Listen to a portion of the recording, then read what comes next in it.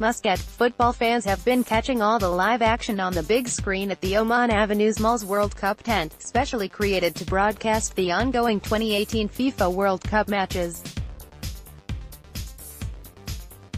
For the first time ever in the Sultanate, Oman Avenues Mall has conceptualized a one-of-a-kind viewing experience as a tribute to all the ardent fans of football in the country. The 2018 FIFA World Cup, which is the 21st edition will end with the final match today. To help the fans capture the thrill of World Cup moments, Oman Avenues Mall has put up an air-conditioned tent in the upper-level parking of the mall.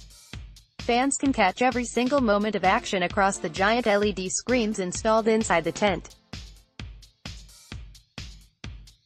To ensure a stadium-type experience, the arena has been split into two sections, so that supporters of each team can sit on their respective side to cheer along with fellow supporters.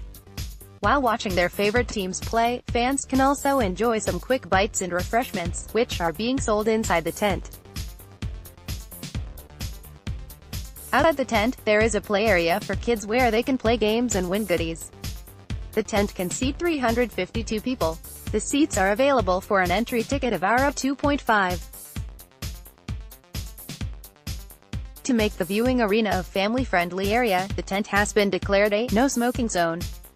To make the most of the World Cup, the mall has set up a massive FIFA World Cup prop at the entrance to showcase its love for the sport. The mall also has giant robots mobilizing in and out of the mall while juggling football to add flavor to the entire season.